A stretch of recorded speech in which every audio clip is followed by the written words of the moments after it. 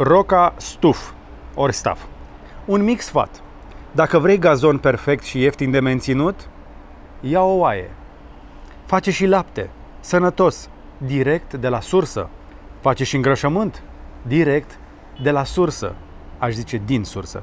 Plus, cred că fetei tale i-ar plăcea la nebunie. Când eram mic, eu și sora mea aveam o oaie și era mult mai steață și mai prietenoasă decât un câine, până când părinții noștri au avut ideea de a o mânca. Țineam mult la oaia aia. Cel mai bun comentariu din ultima lună? Suntem de acord? Felicitări pentru acest comentariu. Sunt de acord cu tine că oaia, ba, chiar am avut un mesaj cu două capre, ar fi o variantă mult mai bună decât un robot de tuns iarba. Însă ce mă nedumerește pe mine este cine mulge oaia sau caprele. Dacă știi pe cineva disponibil, altcineva decât un grădinar, anunță-mă. Pentru că eu călătoresc destul de mult și nu aș vrea să las oaia nemulsă. Ok, râdem, glumim, dar hai să venim la întrebări și răspunsuri, încă o ediție pe casebune.ro. Așa cum v-am promis, o să răspundem la întrebările unde vă putem fi cu adevărat de folos, mai ales după ce am anunțat recent că vom închide comentariile și le vom tria masiv. Suntem o comunitate civilizată, cu mulți oameni care sunt interesați de construit case mai bune, mai sustenabile, mai confortabile. Știți voi deja povestea. Și atunci ar fi păcat să ne bruieze cei care se plictisesc și dau comentarii nepotrivite. Așadar, astăzi o să vă răspund în măsura putinței la unele dintre întrebările pe care ni le-ați trimis și atunci când este nevoie vom mai aduce specialiști cum am mai făcut-o deja. Arhitecți, ingineri și oameni din diferite industrii care să vă lămurească să trecem la întrebări. Să începem cu Anca.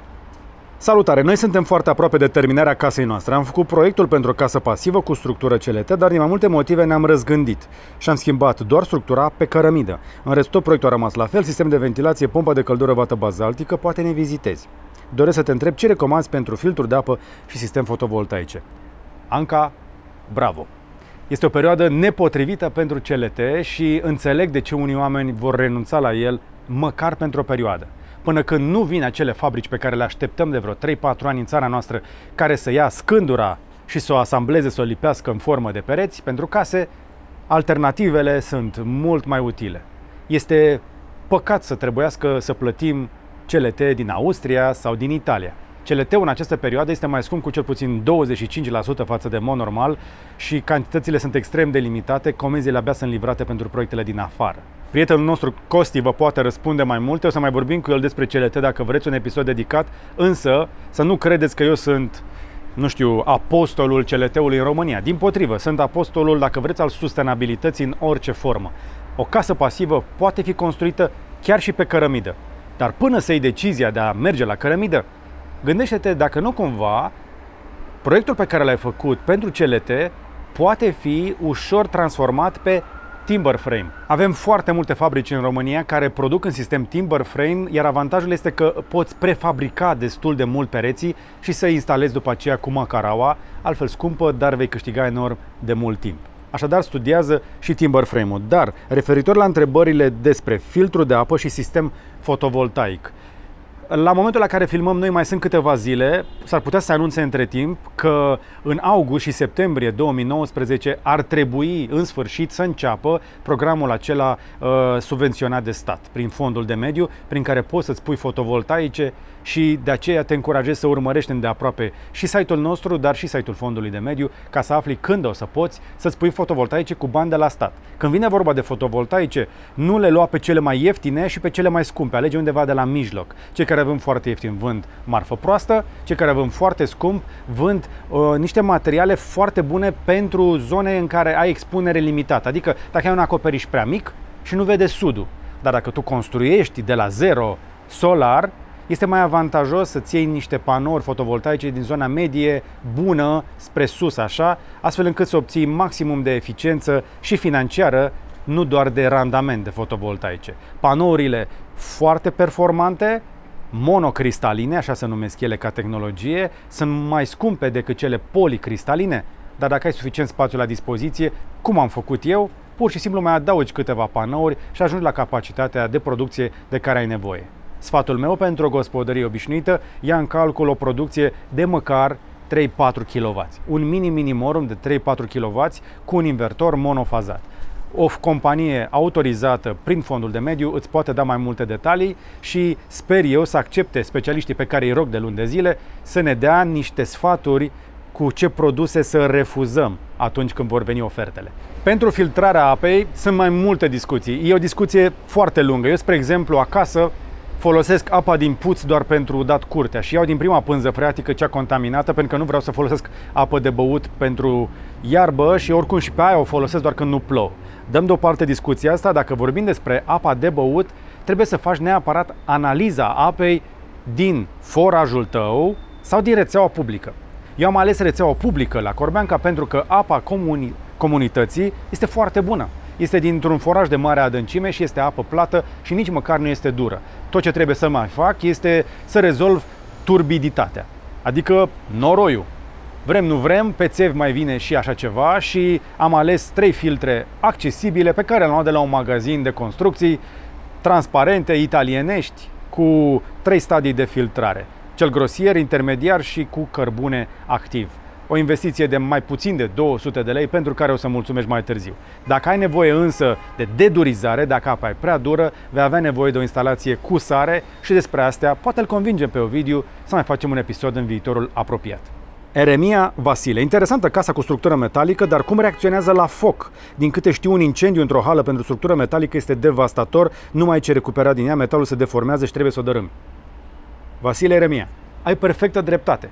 Metalul ca și în structurile metalice, în hale, în casele metalice, dar și în casele cu structură de beton, cu armătură de fier, de oțel, toate suferă la foc. Odată ce se încălzește, oțelul se moaie, structura cedează. De aceea este foarte important ca o casă metalică, cu structură metalică, să fie cât mai bine capitonată, îmbrăcată în Vată bazaltică, spre exemplu, spre deosebire de polistiren, vata bazaltică rezistă excepțional de bine la foc și pentru asta o să lăsăm în descriere un link către testul nostru în care am băgat telefonul omului cu vata într-o cutie de vată bazaltică, care după aceea am dat foc.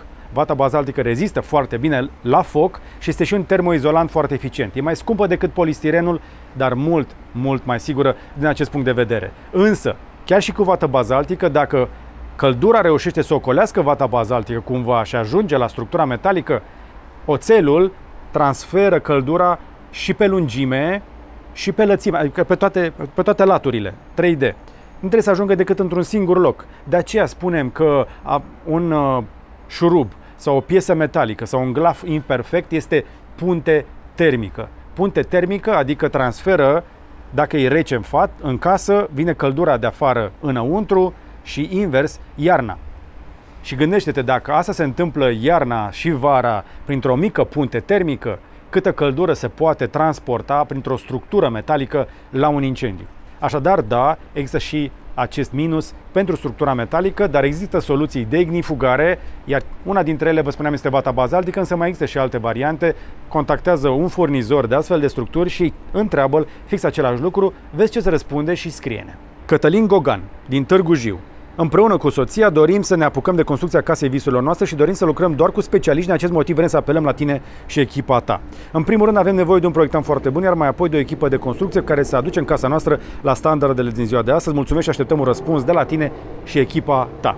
Din păcate, echipa ta, a mea, nu există. Pe parcursul șantierului meu mi-am dorit foarte mult să creez un manager de proiect care ori să colaboreze cu mine, ori să rămână în acest domeniu separat, dar să înțeleagă casa buhnici și o casă pasivă în general de la un capăt la celălalt. Din păcate, oricât de multă deschidere am oferit, bani, resurse și atenție, nu am reușit să creăm un astfel de om. Cei care susțin că știu cum să fac o casă ca a mea, mint. Tocmai de aceea am creat un clip despre oamenii din Casa Buhnici pe care vom publica în viitorul apropiat, tocmai pentru a da la o parte acest mit al echipei din, din spatele casei mele, care pur și simplu nu există. Eu am reușit pentru o perioadă destul de scurtă, un an și jumătate, să conving să lucreze parțial, part-time la un proiect, unii dintre cei mai buni oameni din țara asta. Oamenii aceia nu au mai lucrat după proiectul casei mele încă o dată împreună. E o chestiune și culturală și de business deciziile lor, însă este foarte greu în România să creezi o echipă care să ia o idee bună și să o ducă mai departe. Și eu nu sunt om de construcții să-mi fac propria mea echipă. Pur și simplu am vrut să creez specialiști, iar fiecare dintre ei a preferat să ia succesul și să plece cu el pe drumul lui. Așadar, Sfaturi pot să-ți dau gratis prin astfel de întrebări și răspunsuri, dar pentru cei care au nevoie neapărat de consultanță, mă gândesc să organizez niște sesiuni de 1 la 1 sau în grupuri restrânse. Poate facem la un moment dat o întâlnire într-o sală de evenimente undeva, unde să vă pot răspunde față în față și să avem o conversație. Însă, în măsura timpului meu, răspund în primul rând gratuit cât ori mai mulți dintre voi pe casebune.ro. Așadar, dacă vă doriți ca în viitor să primiți între, uh, răspunsuri concrete, putem organiza un eveniment plătit la care să ne întâlnim și să merite timpul fiecăruia dintre noi. Gheorghe Misir.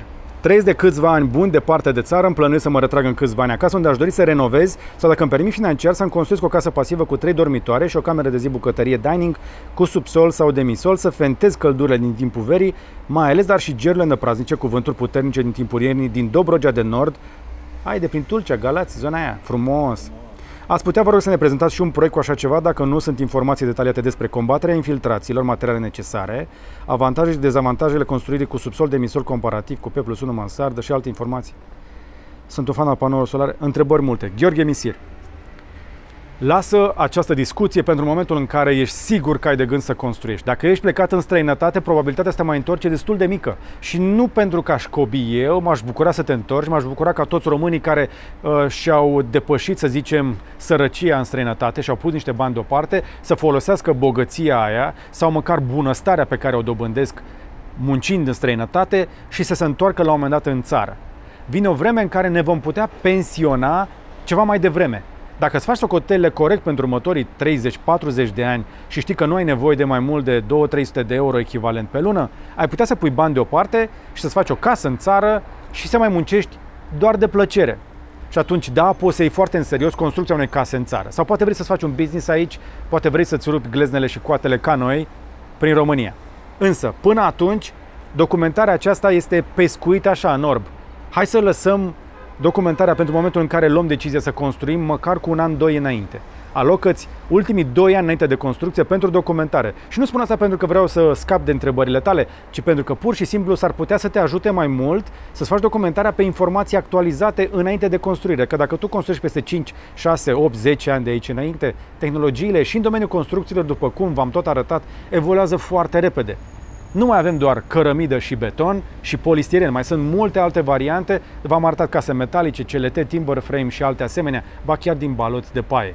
De aceea, dă-ți timp și îți promit că vei putea să-ți faci mai ieftin ca niciodată o casă pasivă. Scopul meu a fost să democratizez informația, iar astăzi se poate construi în România o casă pasivă la prețuri de mult sub 1000 de euro pe metru pătrat. Așadar, deocamdată, strânge bani și când dai măcar 100 de mii de euro pentru o căsuță cu trei dormitoare mici, mai stăm de vorbă. Emma Baboș. De ceva timp urmăresc pe YouTube videoclipurile cu case bune și ce văd devine tot mai interesant și mai tentant. Mulțumim! Dacă ar fi să aleg între casa pe structură metalică și casa din lemn, care ar fi avantaje, dezavantaje și care ar fi costurile unui sistem de ventilație? Nu sunt neapărat pasionată de tehnologie, dar devine tot mai tentant o casă simplă și totuși complicată, costuri minime de construcție și întreținere. Oricum urmăresc de ceva timp și vom mai, mai urmări până ne hotărâm, dar ok, am înțeles ideea. Dragă Emma, bine ai venit! Ne bucură foarte mult că încep să vină tot mai multe femei către platformele acestea, pentru că, în realitate, decizia finală pentru construcția unei case și tehnologiile folosite se ia în familie, împreună cu doamnele, domnișoarele. Și de aceea e important ca și ele să înțeleagă cât mai bine aceste tehnologii noi, pentru că nu sunt chiar atât de complicate. Ideea ta de a merge pe o casă cu structură metalică sau de lemn este binevenită. Dar din nou, trebuie să vedem ce tip de proiect, cât de mare, cât de mică, în ce zonă climatică, pentru că aceste soluții pot fi folosite cu succes în diferite locuri. Ambele soluții au în principiu același avantaj sunt foarte ușor de construit pentru că pot fi prefabricate. Grosul poate fi făcut într-o fabrică, iar pereții să vină în șantier și să-i asamblezi, să-i înșurubezi destul de repede. Și la structura metalică și la structura de lemn. Eu sunt un fan al structurii de lemn pentru că are o amprentă de carbon mai mică. Chiar dacă nu este carbon în structura metalică, amprenta de carbon a lemnului este mai mică pentru că lemnul a crescut prin fotosinteză, l-ai băgat într-o casă și stochezi CO2 pentru a fasona metalul într-o casă cu structură metalică, folosești destul de multă căldură, energie și atunci creezi dioxid de carbon. Ambele sunt utile, O casă pe structură metalică este solidă, rezistă foarte bine la cutremure, uh, are pereții suficient de subțiri, se construiește rapid și cam atât.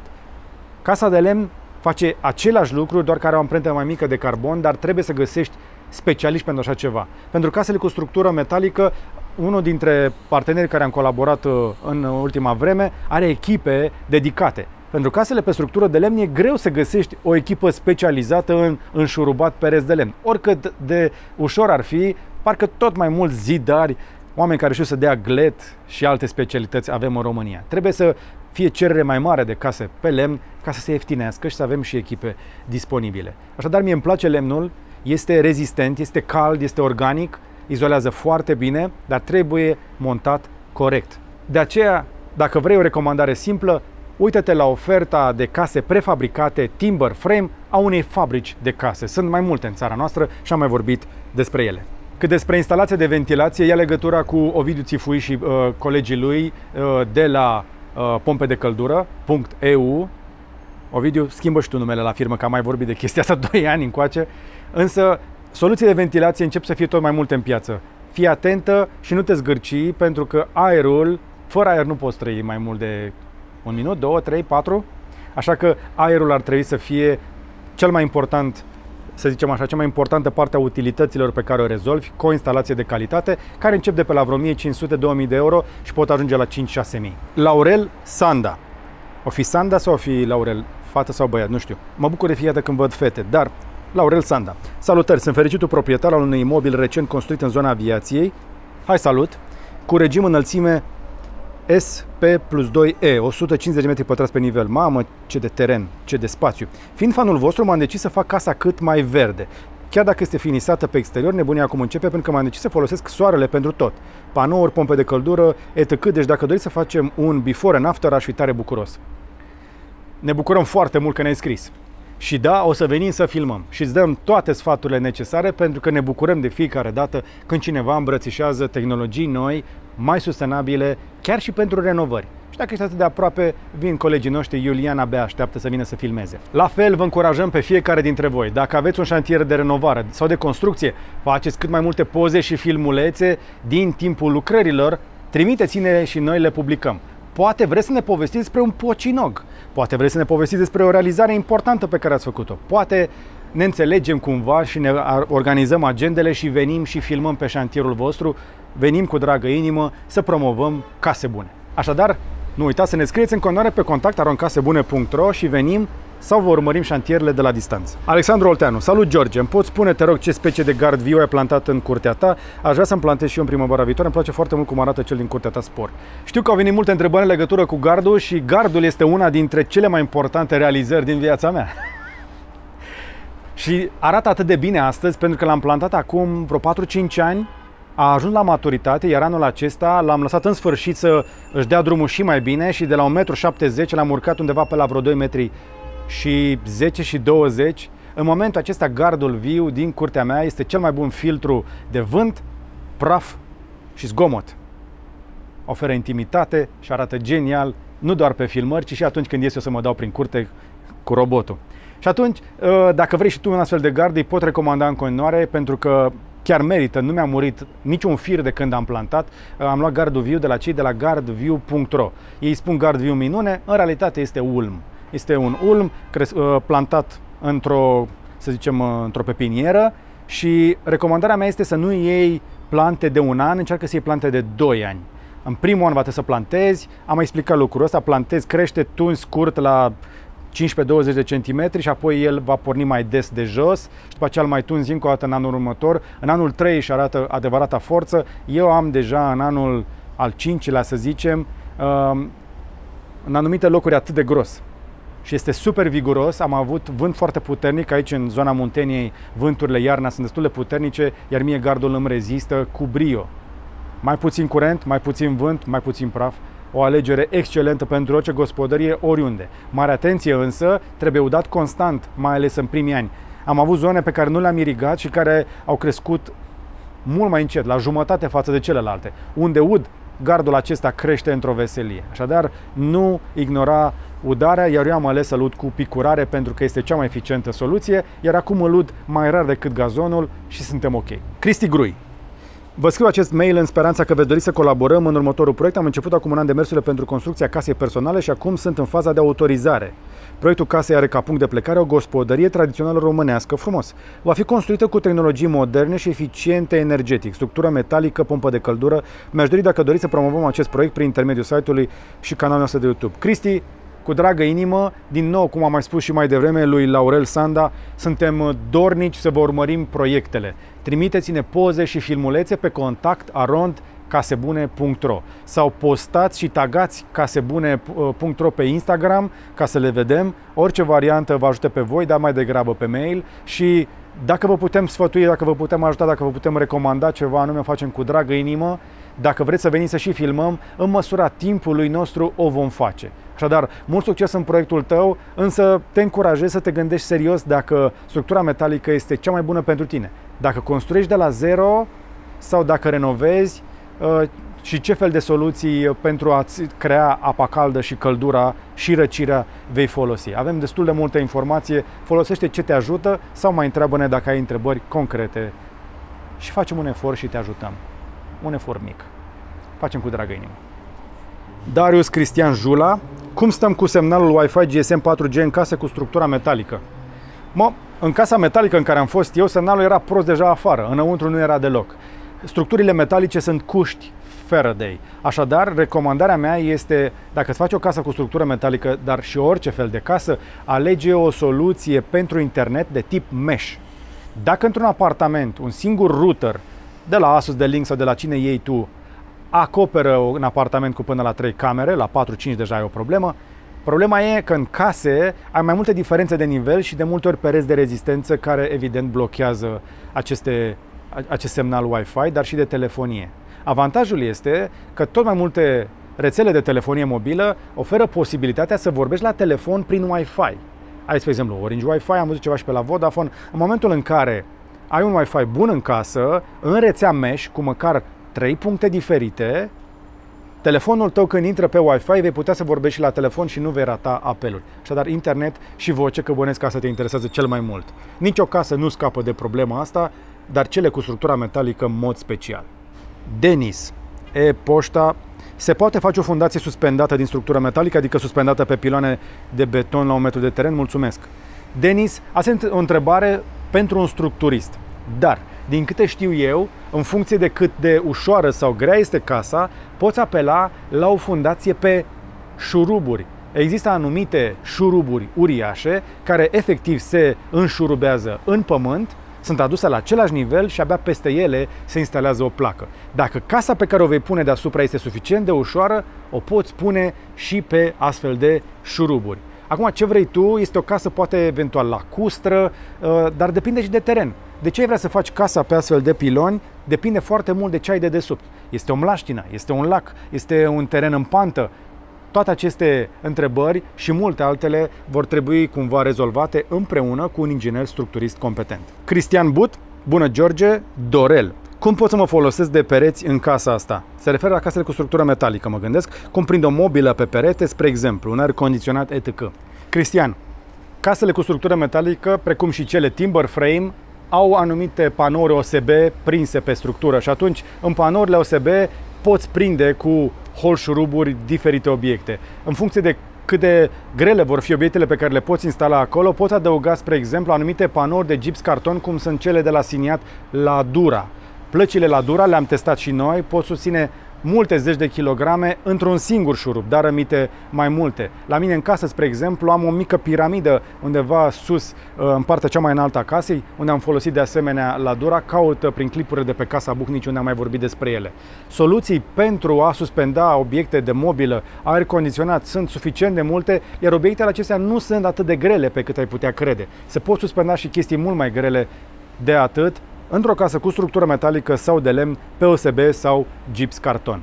Și cam atât pentru astăzi. Acestea au fost unele dintre întrebările cele mai bune pe care le-am primit de la voi. Continuați să ne scrieți ori prin comentarii care se moderează pe YouTube, ori direct prin e-mail pe contact arondcasebune.ro. Atunci când adunăm suficient de multe întrebări pentru un specialist, așa cum v-am mai spus, vom aduce unul în fața camerei ca să vă răspundă, iar pentru cei care vor consultanță extinsă pentru proiectele voastre, vă spuneam, vom lua în calcul și organizarea unei astfel de întâlniri. Între timp, urmărește-ne pe site, pe YouTube, pe Instagram și pe Facebook, trimite-ne poze și filmări din șantierul tău, cheamă-ne și arată-ne dacă ți-a ieșit o casă bună sau dacă ai avut ghinion de un constructor nepriceput, ori poate de un material minune sau unul cu care te-ai păcălit. Împreună învățăm să facem case bune. Scopul nostru este să trăim în case mai bune, în care să trăim vieți mai bune împreună cu cei dragi. Să respirăm un aer curat, să mai vedem și un pic de verde, să bată soarele prin geam, să nu cadă la cutremur și să nu ia foc de la un chibrit. Sper că v-am fost de folos și astăzi. Dați-ne un like, un share și un subscribe și până data viitoare să faceți numai case bune.